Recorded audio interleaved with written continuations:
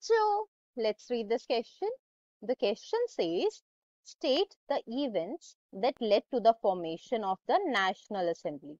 तो क्वेश्चन हमसे पूछ रहा है कि वो इवेंट्स बताओ जिसकी वजह से नेशनल असेंबली जो थी फ्रांस में वो फॉर्म हुई थी now coming to the key concept of the answer we are going to talk about the prevalent social structure कि फ्रांस में उस टाइम पे सोशल स्ट्रक्चर कैसा था उस टाइम पे फ्रांस में तीन एस्टेट हुआ करती थी, जो आपकी फ़र्स्ट एस्टेट हुआ करती थी, उसमें आपके आते थे क्लर्गी जो आपकी सेकंड एस्टेट हुआ करती थी, उसमें आपके आते थे नोबल्स और जो आपकी थर्ड एस्टेट हुआ करती थी, उसमें आते थे आपके कॉमनर्स अब जो थर्ड एस्टेट थी ना, उन्होंने ही नेशनल असेंबली फॉर्म की थी।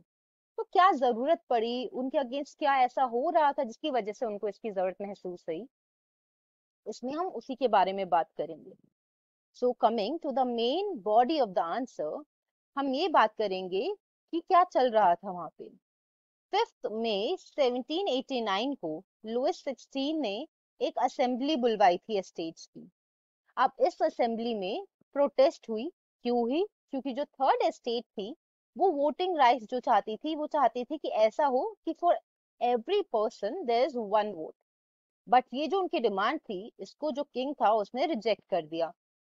इसी वजह से जो मेंबर्स थे थर्ड स्टेट के they staged a walkout out of the assembly और इस इंसिडेंट के बाद ये मेंबर्स एक टेनिस कोर्ट में इकट्ठा हुए और वहाँ पे इन्होंने टेनिस कोर्ट ओथ ली, जिसके अंदर उन्होंने डिक्लेयर किया अपने आप को as a national assembly on twenty June 1789 जो रिप्रेजेंटेटिव्स थे ना थर्ड स्टेट के they viewed themselves as the spokesman of the whole French nation and इसलिए उन्होंने अपने आप को एक नेशनल असेंबली डिक्लेयर कर दिया so the final answer to the question that state the events that led to the formation of the National Assembly was as follows. Hope you understood it well. Best of luck. Thank you so much.